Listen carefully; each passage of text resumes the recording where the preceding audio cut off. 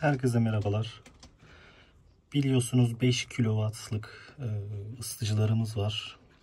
Kimileri bundan çok rahatsız olup 2 kW'la geçenler var arkadaşlar. Yurt dışındaki YouTuber'lardan bir tanesi bu ayarı paylaşmış.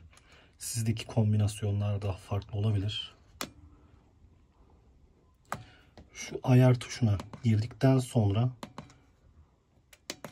Şuradan gizli özellik kısmına giriyoruz. Bunu 1, 2, 3, 4 yapıyoruz. OK diyerek.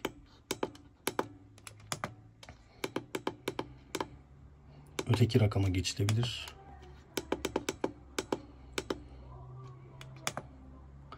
Şöyle bir ekran geliyor karşımıza. Buradaki 12 volt 24 volt ayarı bazı ayarlar var. Şuradaki rakam sizde H olacak arkadaşlar. Siz bunu L yapıp okeylerseniz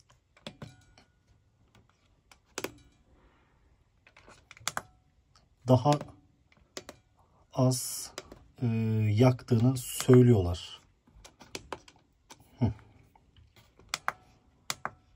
2 kW modunda çalıştığını söylüyorlar denemekte fayda var.